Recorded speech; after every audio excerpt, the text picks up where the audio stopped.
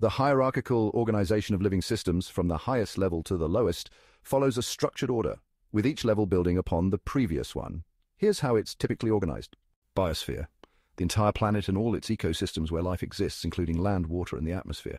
Ecosystem. A community of living organisms interacting with each other and their non-living environment, such as a forest or an ocean. Community. All the different populations of species that live and interact in a particular area.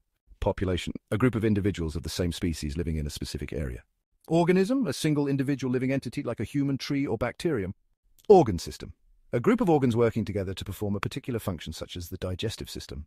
Organ, a structure composed of tissues working together to perform specific functions like the heart or lungs. Tissue, a group of similar cells that work together to perform a particular function, such as muscle tissue. Cell, the basic unit of life, the smallest structure capable of performing all life processes.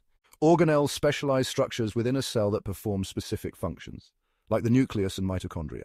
Molecule, a group of atoms bonded together representing the smallest unit of a chemical compound that can take part in a chemical reaction such as DNA and proteins.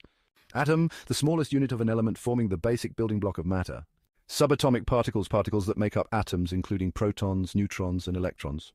Elementary particles, the most basic building blocks of matter, which include particles such as quarks and leptons. For example, electrons are a type of lepton, while protons and neutrons are made of quarks.